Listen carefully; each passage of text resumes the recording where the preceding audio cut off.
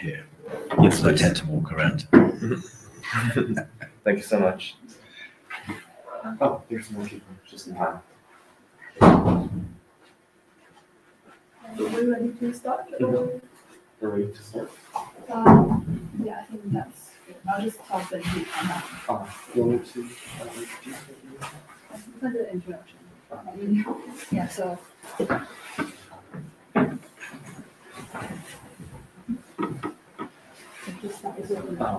Okay.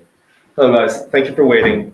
Um, thank you for coming to our first Trinity Term event, which is the AFRY speaker event, Q&A oriented. Um, we're pleased to introduce Richard Sarsfield Hall from AFRY for this week's talk, um, which will be exploring the goals, progress, and the challenges in achieving net zero emission for 2050. Um, Richard is the director and the head of the Oxford UK at AFRY Management Consulting. He has been over 30 years of experiences in energy markets, leading the seminal 2018 on fully decarbonizing Europe's energy system by 2050, and subsequent published pathways for bespoke analysis for clients in France, UK, Spain, and Portugal. He has also worked in gas security of supply, shale gas storage, and CCGT valuations. So everyone, please welcome Richard. Thank you. Good. So I, hopefully there are people on online as well. So please, as we go through, put some questions up on there, and I'll try and remember to look.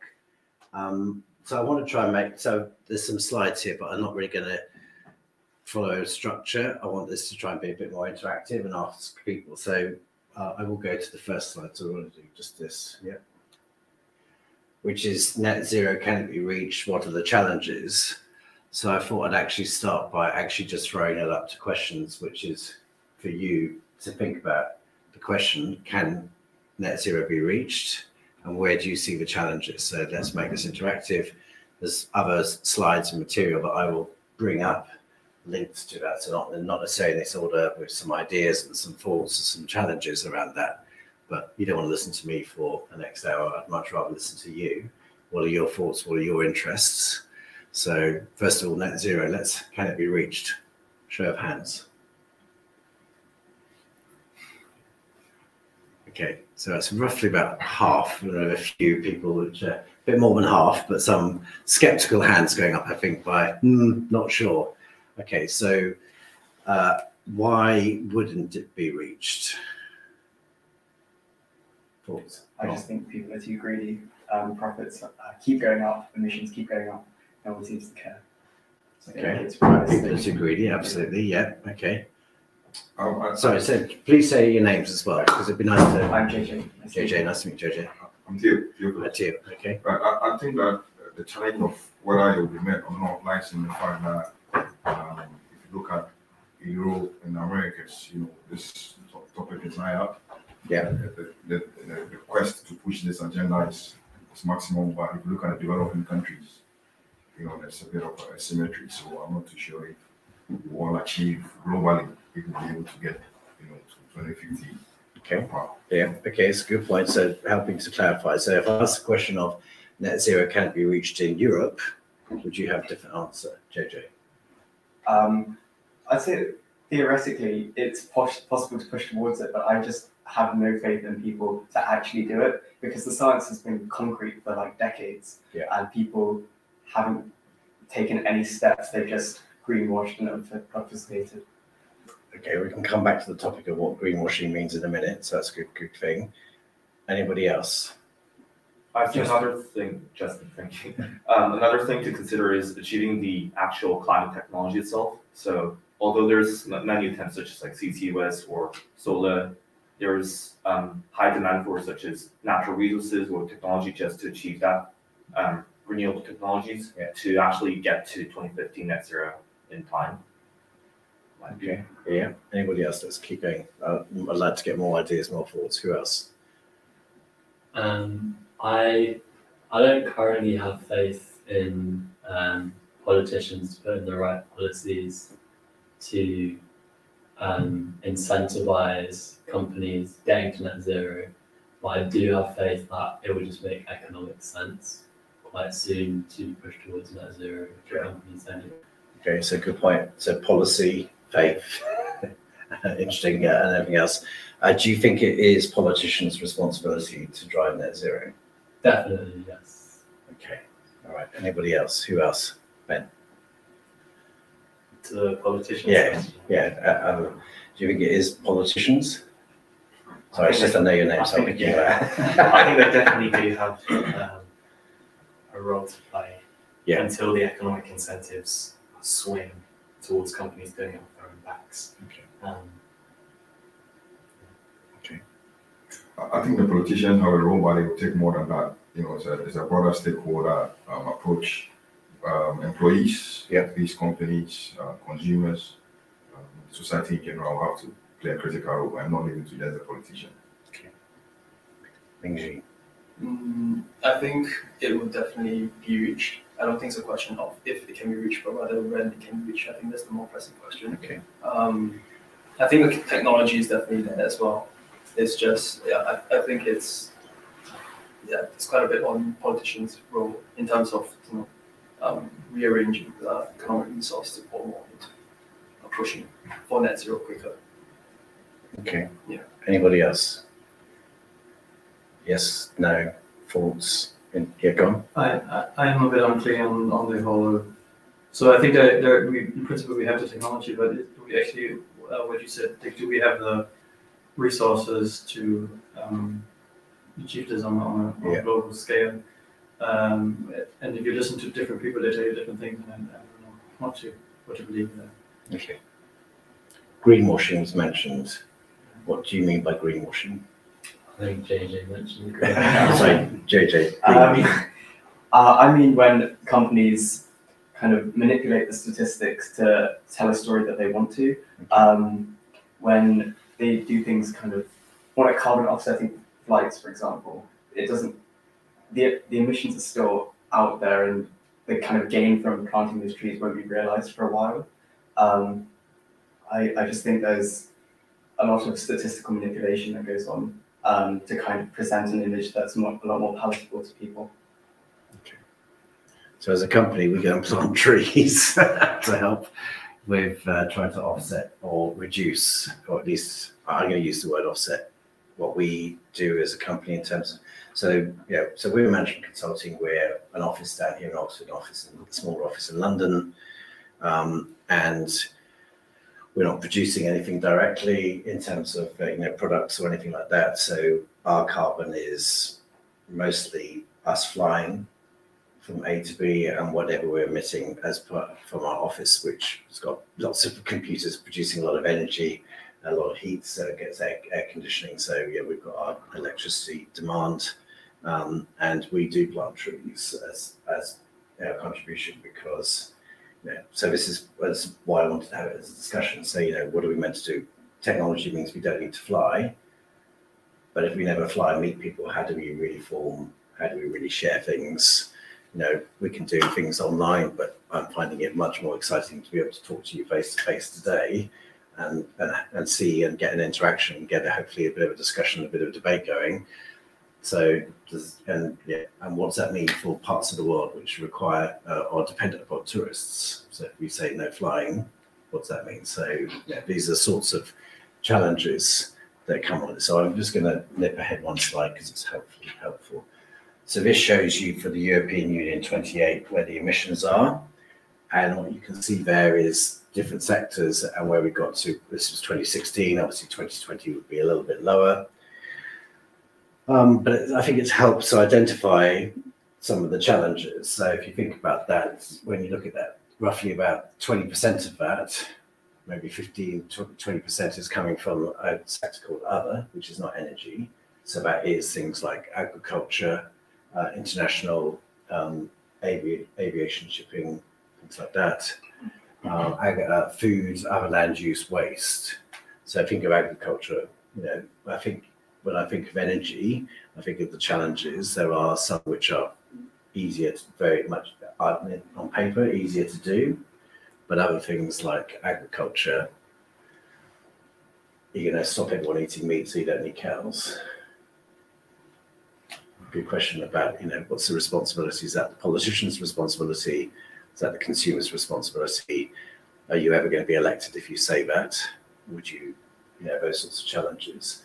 And then back into the sort of company things, when you think of industrial processes and industrial heat, for example, which obviously produce so many of the goods and everything else, whether you know, whether that's plastics, whether that's uh, you know, steel, all the rest of it, then you know, for, for them, yes, you're right. It's it's perhaps easier for the moment. This is what it's like. So, but and many of them are looking at what needs to be done, um, but also they're worried.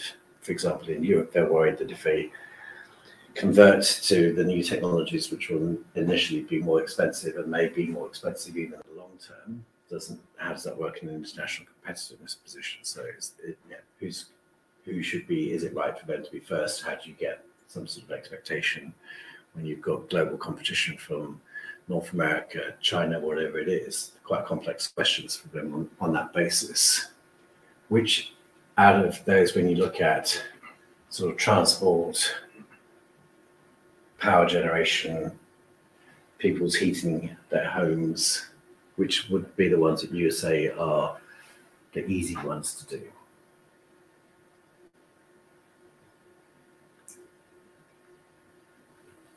Um, I think that we probably have the technologies there for more of the energy generation side of things. Yeah. Um, I think heavy industry and things like that would be really hard to decarbonize. Um, and yeah, I think transport in some areas will be easier than others. Yeah. So yeah, heavy heavy vehicles compared to just your everyday car. Um, but I think it is quite industry specific as to some industries. It's almost impossible at the moment to, to get there. Good. Any other thoughts, comments?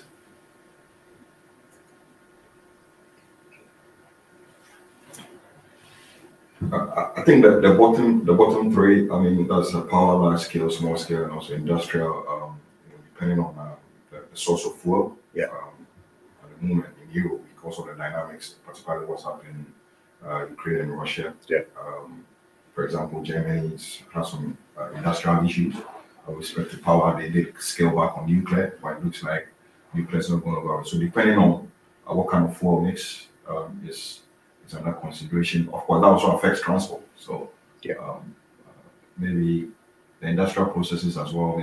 I mean, if people are using solar and down, but solar also has its own uh, limitations and constraints. So um, it's maybe the, the other, I don't, the component under agriculture and other, yeah, those that fall in that bracket may, may come in handy compared to uh, the lower ones where at the moment fuel is the key driver. Any other thoughts, suggestions? Okay, so personal view, I think transport, apart from heavy goods vehicles, is is much easier to decarbonize. The technology is there. You can the, the effort that's put in by some of the uh, uh, policies, like making vehicle manufacturers have to reduce the grams per CO2 that they, you know, um, in their vehicle fleet and continuing to push that down. Uh, you, every advert is electric car at the moment. The actual the, the crisis, even with higher electricity prices, is making a lot of people look at electric cars. But it comes down to affordability. So for those who can afford to buy their Teslas or their uh, so a Golf is uh, an electric Golf, which is 93, is like 32,000 pounds brand new. Whereas a Golf electric, uh, non-electric car, I don't know what a new one is, but it's not that price. It's certainly maybe 20, maybe less than that. So it's suddenly, you know, there's, there's quite a bit of, so who's going to pay for that? So those who can afford to pay for it, that's fine. And then this raises other fascinating questions because you get into those who can afford it are then make it happen, or they can make their choice. So people who bought electric cars, people who are putting solar on their roofs, solar and batteries in their houses, which makes them sort of semi-independent of the grid. Um, that's all very well, but then how does the people who can't afford it, the fuel poverty? I think I saw some statistics in Northern Ireland which was suggesting that fuel poverty, which historically, um, for those who are not familiar with the term, is the idea that um, people are spending 10% or more of their disposable income on basically heating their, their homes. So, and that's not even driving, that's just for heating their homes. and they were saying in Northern Ireland, they reckon that's going to become basically one in two people when you get the next October increase in the um, expected increase. So suddenly, in, in a way, that, that used to be a, num- a, population which in the UK you sort of yes, it's based on ten percent, but it was roughly about ten percent of the population were in the fuel poverty bracket. Suddenly, if you were in Northern Ireland and you're saying it's one in two, it's fifty percent, then how on earth does that work for them to make any physical change to to, to their environment because it comes down to the capital where they're going to find the money to do that when they haven't got the money already. So that comes back to policy, and is it the politician's job to, to make it happen? Um, and you know, um, and and actually, how much do does everybody else as society and as consumers have an obligation to to buy into the changes, recognise that maybe you know, taxation is a way of doing these things, uh, but that means everyone who is the taxpayers, which is obviously, again, think of the UK.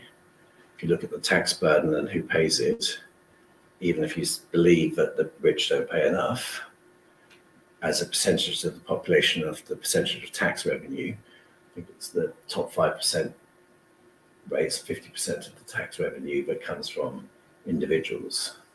So uh, maybe that's not enough in terms of they could probably afford to pay a lot more taxation, but that's a challenge that is got to be faced from a you know, policymakers. So it's not quite as simple as just increase taxation, make it happen. Okay, absolutely. So let's look at some of these challenges for, for those who are. So I'm just trying to gauge as well. So this is the Energy Society. How much of you are who's studying energy or understanding things like energy economics, supply, demand, electricity, making the electricity system work, keeping the lights on? Those things that you are doing as part of your studies, or is, is this just a interest level and you want to understand and learn more? Personally, in between, I'm not studying it, but I have looked into it Yeah. somewhat. Okay. It's also similar, it's half and half for me. I Yeah. study earth sciences, so it's more like parts of energy, parts Okay. of climate, Yeah. but more science based. Anybody else? I mean, part of computational and everything, it's just a very Just- just- Just, just a fascinating, interesting. Okay, good. Um, okay, that's just repeated the questions. The question asking people to put questions up. So I don't know if anyone is actually out there or not. So I'll, I'll, I'll keep looking and try and ignore most of it. Okay, fine. So what I'm going to do is I'm just going to put a few few bits up of information from studies that we have we've done and we've made public or which are relevant to the topics. So of different bits, I'll randomly jump around different things, which we'll be talking about different things. So let's think of. Um, so we looked at how you decarbonize electricity, heat, and transport in Europe.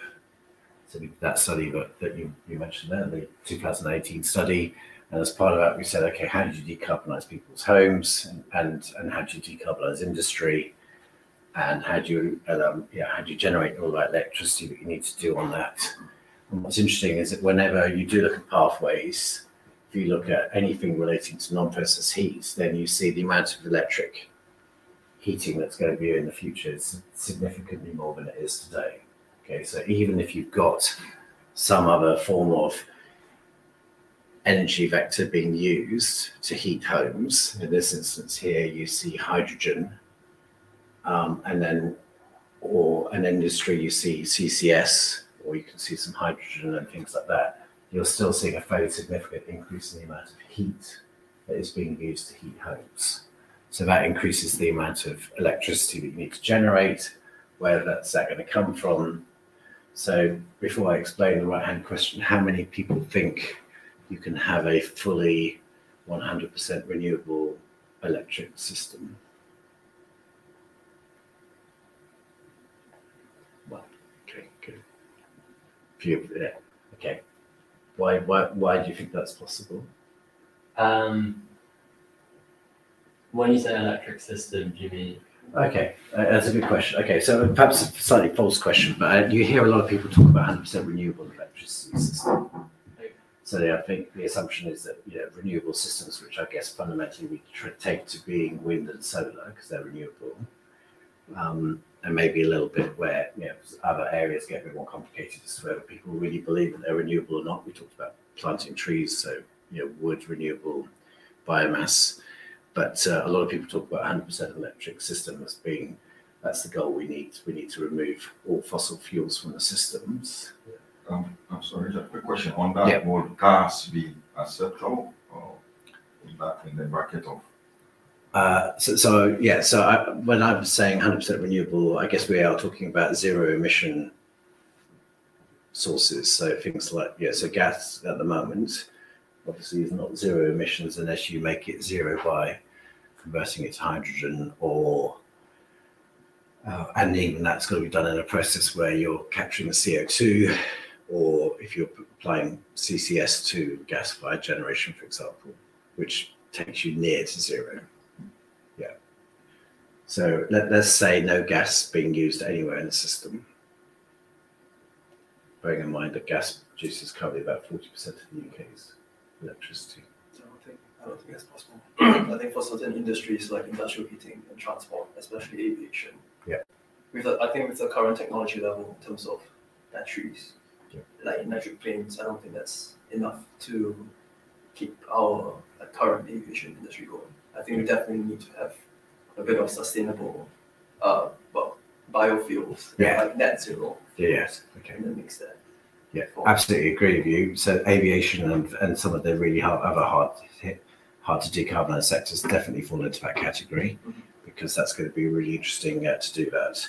Um, I, I suppose w- w- what we we we like we like doing analysis, we like doing numbers, we like doing complicated investigations into different things. Um, yeah, electricity is is so different to uh, other things. So if you're thinking about gas, you're thinking about oil, coal, what makes them stand out compared to electricity? Energy density. Partly, yes. And They're easier to store. that's it.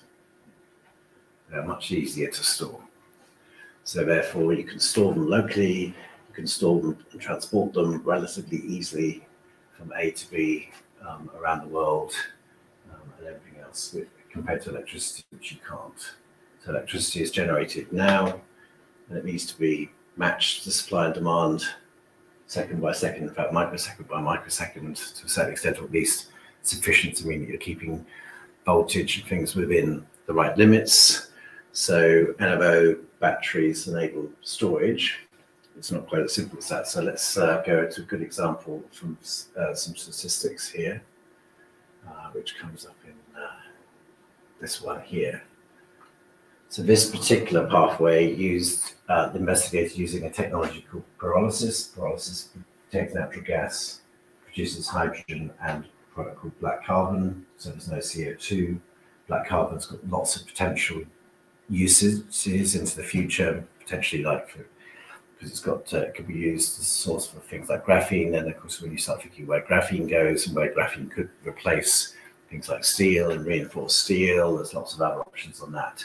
So this was saying, you know, if you developed that type of technology and created hydrogen to replace gas in pipes at the moment at people's homes, and you sort of see this pathway you see here with a lot of hydrogen being used around this point here in the heating the system. We still see a lot of electric being used still, especially in warmer climates, but in colder climates, you see hydrogen in Europe being used. If you didn't allow that sort of technology and other things for to produce that amount of hydrogen. So it all had to come from electrolysis, for example. Then the amount of renewables you would have to build would be double what you're already building here. So if you look at that chart and you see the green and the and well everything from this line upwards in 2050, which is basically all of it, which is renewable based generation, and then you'd actually say you need to double the amount of capacity to produce that amount of hydrogen.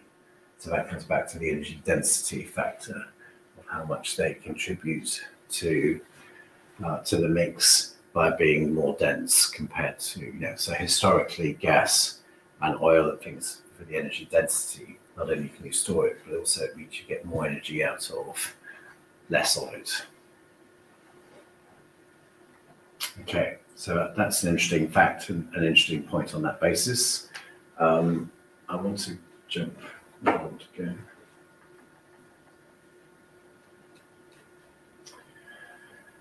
So this is interesting. So it talked about um, electricity and, and about how you had to match the supply and the demand. So if you can't store it very easily, where is where is the future storage of it going to be? Hydrogen or ammonia. Yeah, okay, absolutely. Ammonia for because It's more energy dense than yeah, and easy to and easy to transport. but it's toxic. Uh, it's yes, okay, yeah, I take that point, but it's still relatively easy to transport it in in a, in a ship compared to Or uh, liquid hydrogen to go to liquid hydrogen, absolutely. Okay, so you've got hydrogen. What else is there that you could use to help balance an electric sys- um, the systems?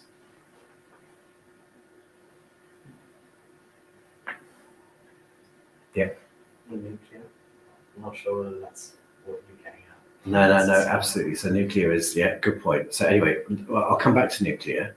So what this study did, and this is quite new, so we just completed this study, was to look at GB, and what you see, of course, is yeah, a demand, a demand, which is the red line there, going up and down day to day. This is from like second week of January to the end of January. And what you see there is the demand changing day by day, the shape of the demand going up and down. Uh, you've got still overnight lower demand than you've got in the day. Why would demand in the winter be higher in daytime compared to overnight?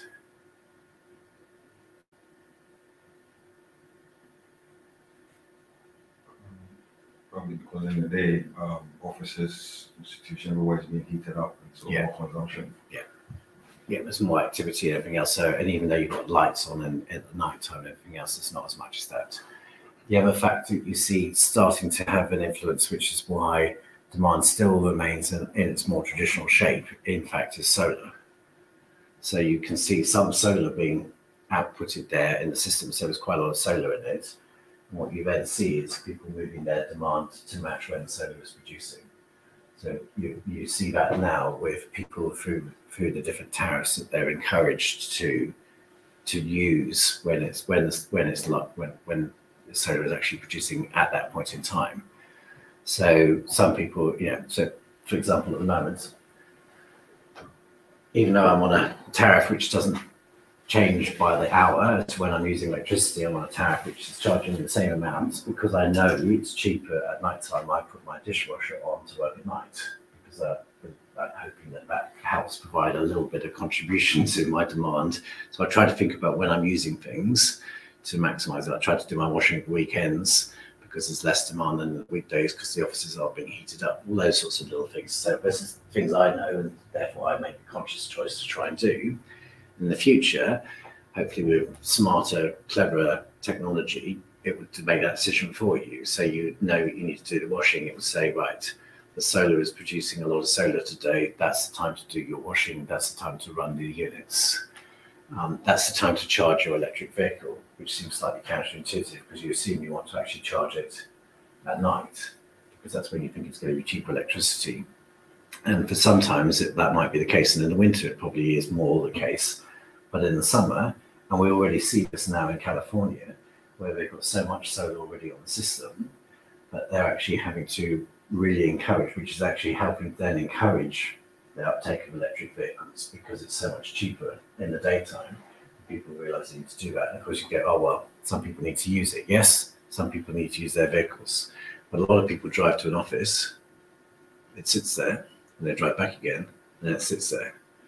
So you can see this world in the future where actually when you drive to the office, you plug it in, it's a bright sunny day, that's when your car gets charged. It's a cloudy day, it may not do it, but it then does it the next day.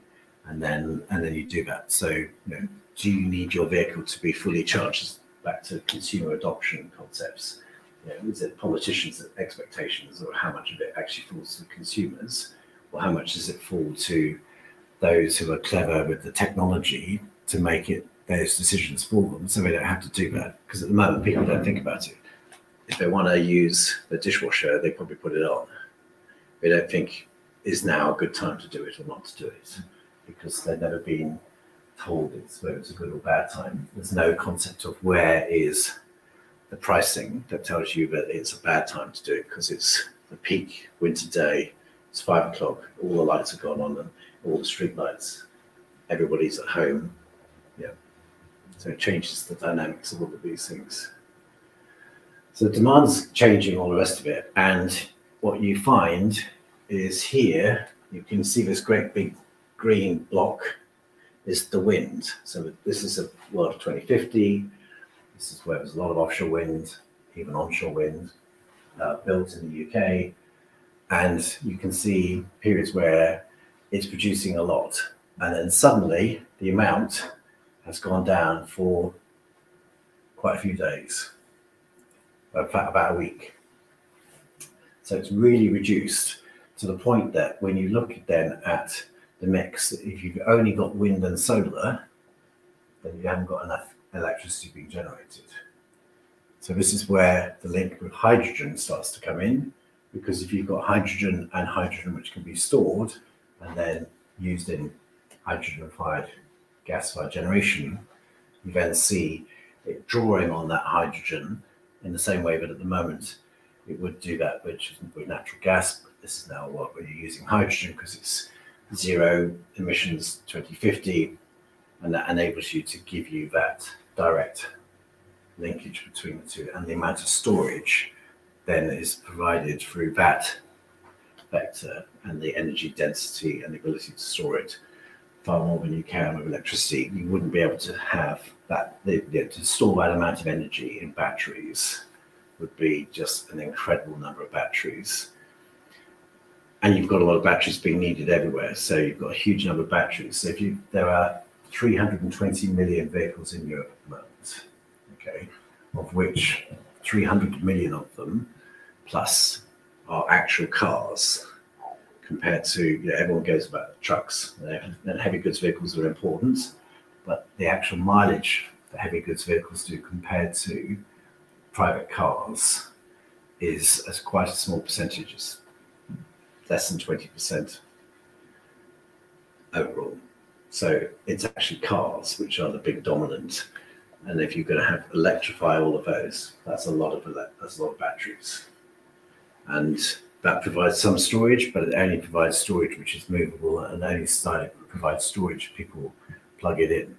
So people will probably plug it in when they want to charge it, but will they plug it in with the hope that it exports to the grid and they can make money out of it? Maybe if they're encouraged enough, they will do because that's a lot of storage. But that storage has still got to be used at some point. Whereas if you've got storage which is much more reacting over a season as to when it's needed, which gas storage does and hydrogen storage can do in the future. And you start to see where it does that. So there's this interlinkage, even it's sort of repeating to a certain extent some of the interlinkage which does exist at the moment between gas and electric. It just becomes hydrogen and electric.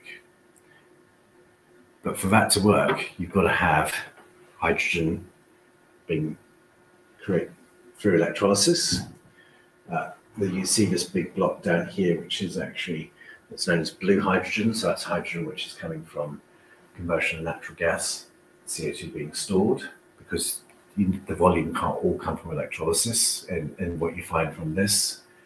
Um, and then you say you've still got to have to do that. So I suppose this is what I really wanted to try and do with some of this, this sort of reminder. So I hear a lot of people, yeah, back to greenwashing or at least companies trying to do that. So, how much of this do you feel of where we've got to is? So, if I said, is it 100% the, the fault of the oil and gas companies where we are? Who would say yes or no? Giving a no. Anybody else? Okay, so it's not 100% the oil and gas company's fault. Who else is the guilty parties? Um, I think the oil and gas companies ultimately do what makes the most money for their shareholders. Yeah. If there was legislation in place that they'd have to follow, I think on the whole, they, they might put up some legal fight, but if the legislation is high enough, they would follow it, but it's just not there. So they're gonna continue doing what makes their shareholders money. But stuff like, um, compulsory carbon capture and storage, if that was implemented and com- energy companies had to do that. Yeah. They would have the funds, they would have the industry to do it, but obviously it hasn't been implemented. Okay, so you hear a lot of people talking about green. So for me, like I hear greenwashing used a lot when people talk about oil and gas companies investing in renewables or whatever it is, and they're trying to imply that's greenwashing because they're taking the dirty money from that they're making with oil and gas and they're trying to invest it into some renewables as if they're trying to sort of try to make themselves look green, but they're not really. Yeah. Um, so uh, that's that's a fair criticism. But do you think they have a? Um, do you think you can decarbonize if they are not part of the solution? Oil and gas is an important part of the overall energy industry. They're one of the biggest producer of energy, which is what we need. So Yeah. we definitely need like such BP or Shell, whether they're labeled as greenwashing or not greenwashing, we still need their roles as it is such a major player in the energy market. Okay, absolutely. Yeah. Well, I, I I think aside, well, I'm, I'm from an oil and gas background, so I'm a bit, uh, um, yeah, I, I think, I mean, the issues of greenwashing aside, um, they, they have a critical role and, um, they have the, the, know- the well without the technology. I mean, when you talk about carbon capture, Yeah. already doing gas and water injections, one, they understand, you know, the geological dynamics. Yeah. They, they have the resources, you know, to lead, um, some of these research and Yeah. also fund all these projects. So, it's important that um, regulations and you know society pushes them to um, to, to lead the change. Okay, I agree, agree with you. Actually, personally, because they also they've got capital and they've got te- technology know-how, and they can make a lot of these things happen. And you're right; they need to be given the right incentives. They need to be made to do things. Um, so there's a case in the Netherlands where Shell has been told that it should be compliant with the Dutch law. So that'd be interesting to see how that one they're appealing that. Surprise, surprise. But um, I think that's because they uh, for for 2030 there's this particular is that right, Mostyn, isn't there? There's a particular requirement to get to a certain level by 2030 or something. And that I they. think they're planning to evade it by moving the offices to the UK. So that's, that, that's it, technically, yes, okay, that's the way you do it then. Okay, excellent. This is the whole point, like they, we, we, we- they, they are so, they have the technology, they could do Yeah. that, but Yeah. do they do it? Because then in the end, uh, to produce more value for the shareholders, they just lobby their way out of things and they just like move to the UK, whatever. Yeah. So then they, that, they um, continue producing value for the shareholders, but only because they could, doesn't mean they do. No, no, not necessarily. Um, you know, uh, obtain or seek you know the shareholders' uh, interest, but like uh, which is some of these uh, projects or this research, CC with hydrogen, these are these are high capital intensive uh, Yeah. uh, projects, and so they see that why not continue to produce uh, the conventional and then use because this uh, the R and D's are on the high side, so you still need some level of funding to be able to um, uh, you know to, advance Yeah. the renewable side. So I mean, you can you can argue all. I mean, there's two sides of it, but there, there's no way they're going to stop yeah, when society continues to demand Yeah. or continue to consume um, the conventional fuel. Um, and when the price is good, that's you know there's a very difficult uh, justification to say let's put the brakes, silent brakes, rather than work through it in a gradual process. Yeah, yeah, I mean, I, it's an honest question, I don't know, like, what the, what the, what would be the fair share of, of, of, uh, energy companies to take in, in this situation, and how much do they actually invest right now, that's it. I don't have those numbers. Okay. Nuclear was mentioned earlier. so there is nuclear, there's that little line going on here, nuclear. Okay. Sort of what was assumed the level of nuclear. So why is nuclear problematic into the future? I think there's quite a lot of um, social opposition towards it, um, especially with some of the disasters that have happened. Okay. Um, I think that's one of the largest factors. Whether that's changed slightly because of energy security issues and things like that. Yeah. I'm not sure. Okay, so the UK government's reaction to the energy security was to announce a whole bunch of new nuclear projects. Is that is that um, because wh- why do you think that they would think that's a good idea? I guess, well, I guess with nuclear, you can produce it within the UK as opposed to having to rely on Absolutely. exports from Russia, Yeah. the US, or Yeah. anywhere else. Um,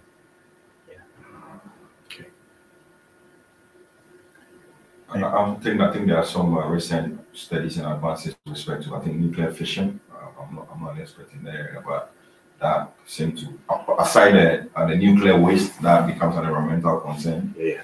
Um, I think that you know it's, it's, a, it's a clean form of uh, energy production. So. Yeah, absolutely. So, and, and the UK government, of course, isn't the only one that's announced more nuclear. So France has done exactly the same. Of course, France has got a lot of nuclear.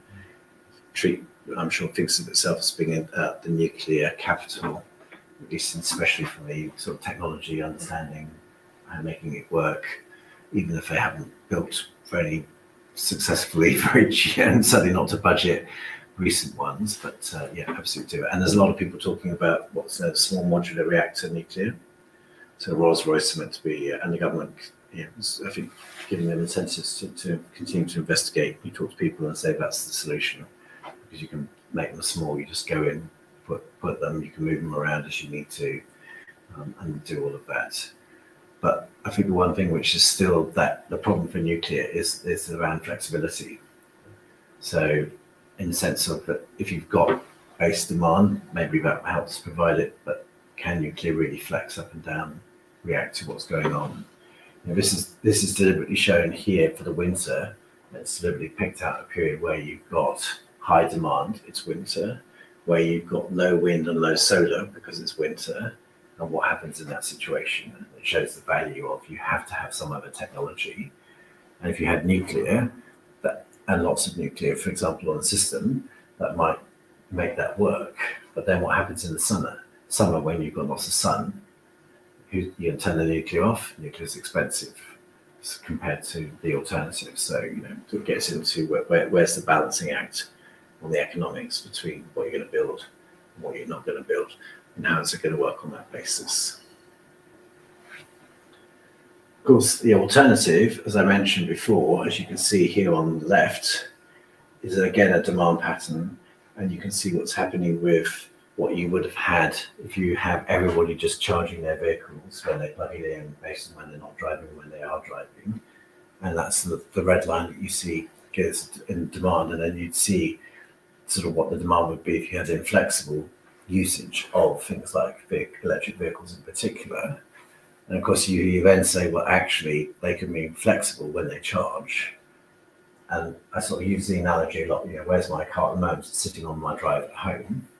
In fact, it's been sitting there for quite a few days because I'm not using it. So if it's just sitting there, is it not a battery storage that could be used and export to the grid?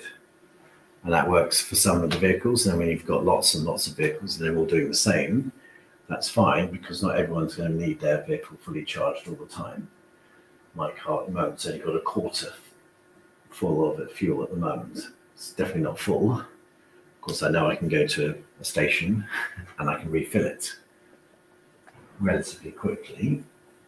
Um, maybe maybe not cheaply anymore, but I can still certainly do it relatively quickly. Um, whereas in the future, you know, why would I expect my electric vehicle charged all the time? Yes, I could say I know I'm going to be using it tomorrow, and I could ask it to be charged for tomorrow, and it can do that. But other times, does it matter if it exports some of that to the grid?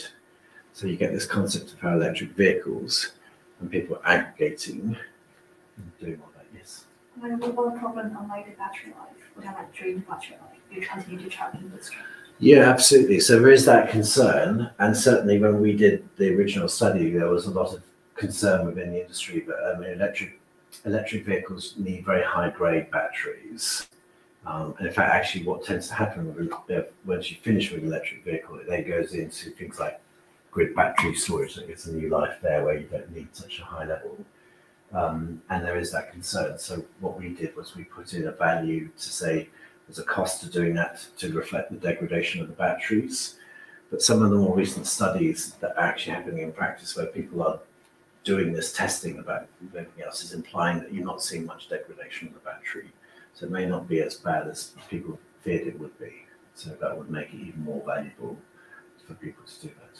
Yeah, Justin. Um, this is a little bit of digression. Might be because I'm studying earth sciences. Yeah. So we have a lot of this transition towards using lithium battery Yeah. for cause, for energy storage, for energy grid systems. Do we actually have enough battery related um, resources so that we can implement these sort of renewable system globally? Yeah. It's a good question, Mostyn. I can never remember what the answer is. I think the answer is yes, isn't it? Yeah, and I mean, historically, when people have been concerned by a constraint like that, um, you know, price goes up, and lo and behold, you dig a bit deeper and you find some more. So I suspect that's the same is true for batteries. Uh, plus, if the value goes up, the incentive to recycle and repurpose goes up. So. And, and I'm absolutely convinced that, that those technologies are the technologies of now, today, but in 30 years' time, they'll be, whether it's carbon black, which graphene, which you can, someone's worked out how to make it store, you know, solid state technologies, these things will probably mean that there's an even cheaper, smaller, more energy dense ways of storing electricity. Absolutely. That's a good question. Should we get ourselves off? Okay. I'm sort of got 10 minutes, I think, on the time. Is that right? Good. So I want to take us just to one other thing back to um, which one do I want to take us to? Okay, two other things relating to um, industry, first of all. So we talked a bit about heavy industry and how difficult it is to do. So we did do a study where we looked at which industries, uh, when you look at the processes and how they do, you you would it's impossible to come up with another alternative than uh, where you couldn't electrify, where you'd need to use something like hydrogen as, a as a source for either the um, because yeah, for iron and steel you need it in that or various other ele- elements in that. So you can see where that refining ammonia, methanol, various other bits where you can see the sort of demand there of what's expected and how that would happen into the future. And it looked at okay, if that has to go to hydrogen, then if you do do that, is there a justification to having some sort of hydrogen backbone? And what it did interestingly identified was, was that you do see clusters where, based on where a lot of these industries are based, so you see that in and around northeast France, Netherlands, Belgium, northern, north, uh, northwest Germany, etc., where there's a lot of heavy industry, then you actually find that it is even in that situation, there's enough hydrogen demand to mean that it's worth building hydrogen pipes and having hydrogen storage to do that. And that's with what you call a no regret hydrogen. Okay. So no regret hydrogen is only where you it's not saying it would actually be more economic for hydrogen to be in other parts of industrial processes, but where there's not an alternative, which basically means electric electrification of it. And that gets used by a lot of people to say, okay, that's fine, we should electrify lots of the rest of it. But it's not quite as simple as that. So if we then look at um, what's the options of some really big, heavy industry processes. So there are two which we've analysed in this study. One of which is where you look at steam crackers. So this is where you're uh, you in processing and you're actually using steam to crack down to um, to create other products um, from oil, or where you are producing ammonia and you say, let's look at these two options here. So one on the left here is basically saying, if I replace what's currently being done using gas with some form of electric solution, and these technologies exist and you can make them, but they really use a huge amount of electricity, then what you then find is that if it's going to be inflexible, then the cost of doing it becomes so much more expensive than it is at the moment. And not only that, the actual impact on the grid, yeah, just just in this area, so that's Netherlands, Belgium, and the North um, North Rhine-Westphalia region of Germany, if you take their their, current crackers from their inlet, what's being used in their in their refining at the moment, and you convert that to electric, then that means that the already expected increase of demand in that area to 2050 by heat, electric vehicles, other general uses of electricity would be another 50% more just for that process. And the impact on the grid means that you'd have to spend another additional 17 to 37 billion euros to do that. And who's going to do that? I don't know if anybody is aware of how difficult it is to get permission to put high transmission wires out and into places to, to to do all of that. You're going to have to link that into the network. And that's partly because this gas demand here that's happening at the moment is happening inside in industrial sites. And those industrial sites do not have heavy connections or electric grids because they're off the grid effectively. They don't need to. They generate electricity themselves for whatever the electricity they use. They don't use that much electricity where they do. It's getting generated by gas-fired generation. They're using a lot of gas, both as a feedstock, gas as a heat source. And that's what you're seeing here. And then you find when you electrify that, the only way they, they can't produce that amount of electricity on site, so they have to get connected into the grid. And impact on the grid suddenly overloads the grid, it doesn't have enough capacity, so you've got to build it all. And those are factors which are often ignored or everyone says, oh, we'll just build more grid. Does anybody know what's, well, in the UK, what the longest planning permission is to try and build a high wide um, link? So it took, was it 15 years in the end for the Scot, the um, one from Scotland to Yorkshire planning permission by the time it gone through public inquiries. I think it went through two public inquiries in the end. It's 15 years just to build one connection from Scotland into England. And we've only got, I was going to say 30 years, but it's now not 30 years, it's, it's 28 years and, and less years to get to 2050 when we're meant to be net zero. So the scale of the challenge is big and the time scale is getting increasingly short and the commitment may be there theoretically in terms of people saying that they're committed to it, but I don't be- believe people understand the scale of that challenge and the actual practical impacts of what this means.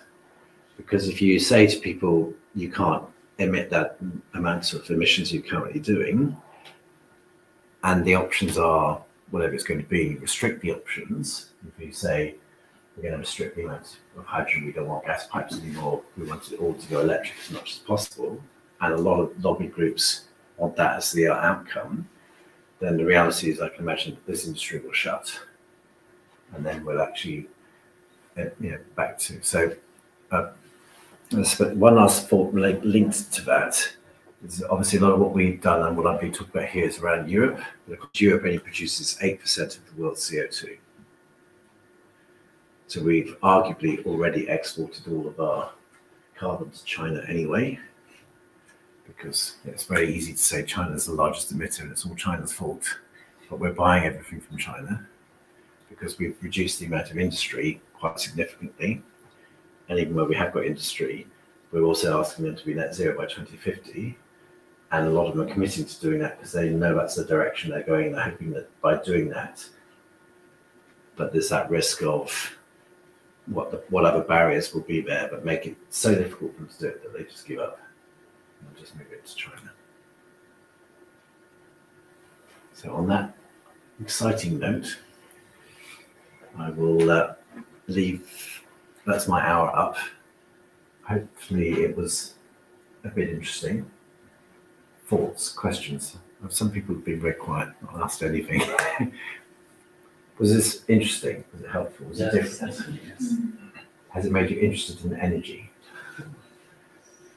I've been in it for 30 years plus growing, and it's never been boring. Energy is exciting, it's always changing dynamics.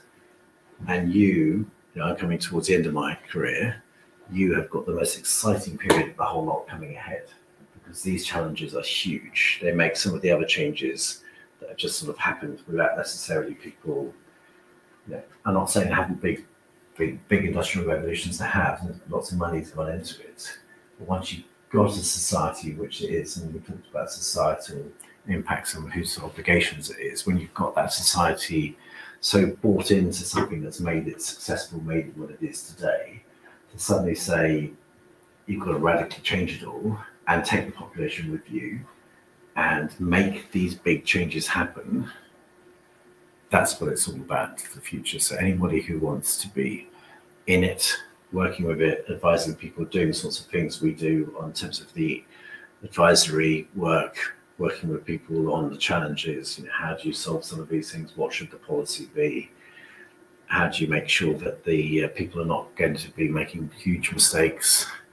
They'll probably make them anyway, but you try to advise them that not, you know, there could be less. Then uh, yeah, this is the exciting time. So we've got the best time coming up. Thank you. Yeah. Just, just one question. One, how, how big is hydro? I know hydro is big in uh, Norway, but in the UK, is any hydro at all? There's a little bit in Scotland. Uh, there's a pump storage in North Wales. A couple of others around and about, but not particularly big there. Uh, other countries have got a lot. Switzerland's got a lot, for example. Um, and you go to other parts of the world. Uh, Brazil has a lot of hydro. Um, there's quite a lot in Asia as well. Um, there's quite big dams in China and other parts of Southeast Asia. Um, where else is big in hydro? Nordics in general. Yeah, yeah.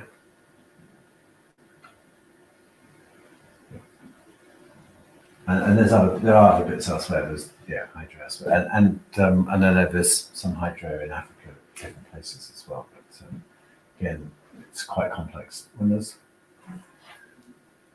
it's it's that difficult balancing act of it, provides a source of electricity and everything else, but it, the environmental impact can be obviously much bigger than people initially expect. It often is. Yeah, I didn't mention hydro, did I? Mostly because we tend to see it as being an expensive solution compared to uh, some of the alternatives. Just any other questions? Um, not a question. It was just trying to close up, but then, yeah, the question was ongoing. That's fine. I, I'm, I'm not going anywhere. So Yeah. if people want to ask me individual questions, we'll have a keep discussing, then that's fine. Okay. So everyone, once again, thank you for all joining. Since it was a Q&A talk, we wouldn't have a formal talk and a Q&A session, but please feel free to individually ask questions to Richard. And once again, thank you, Richard, for um, giving us opportunity. It's a pleasure. Good. I hope it was different and a bit more interesting than just being lectured at. Good. And if anybody is, um, so Ling Ji actually, did you, you okay for me to say, you- so Ling is actually, Ling Ji is actually joining us as a company in September. So, uh, so if, if anybody wants to know a little bit about how terrible was it to go through the application process and was it worth the pain,